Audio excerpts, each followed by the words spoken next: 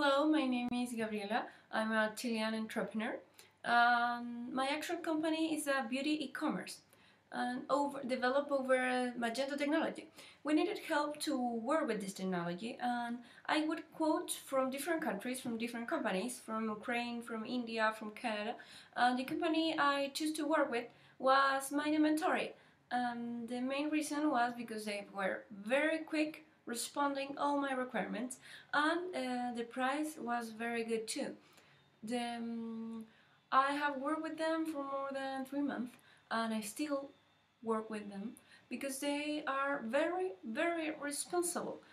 That's, that's, that is the thing that I most like of them.